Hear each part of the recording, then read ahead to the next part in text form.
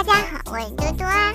多宝宝刚要睡觉，叫妈妈就来喊多宝宝，还说多宝宝得洗澡澡，多宝宝都臭臭了呢。可是多宝宝咋没觉得自己可臭呢？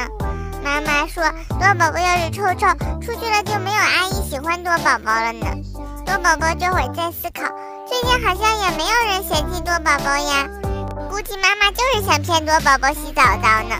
妈妈还说洗完澡澡带多宝宝下楼，然后楼下就有漂亮阿姨跟多宝宝一起玩。多宝宝怎么想都不像真的。这会儿妈妈就来我来抓多宝宝了呢。妈妈还说多宝宝居然不起来，那可就要下手抓了呢。多宝宝不起，你还能拿我怎么办？果然妈妈还挺有力气的。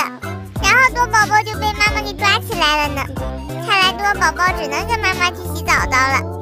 最后多宝宝还是自己个走进来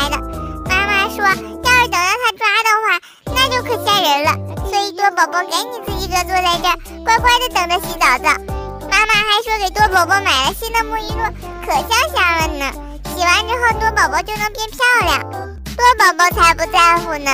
妈妈还说，洗完之后多宝宝就会淡淡的香味，一点也不刺鼻，而且到时候多宝宝还能变漂亮。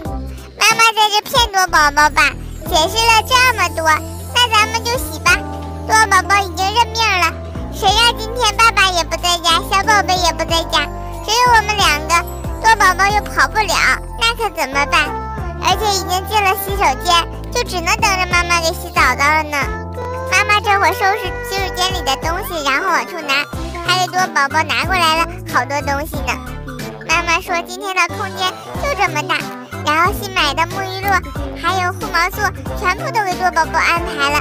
还给多宝宝拿了小刷子，说一会儿给多宝宝洗刷刷，到时候做宝宝就可舒服可舒服了呢。多大宝这会儿可一点也不期待呢。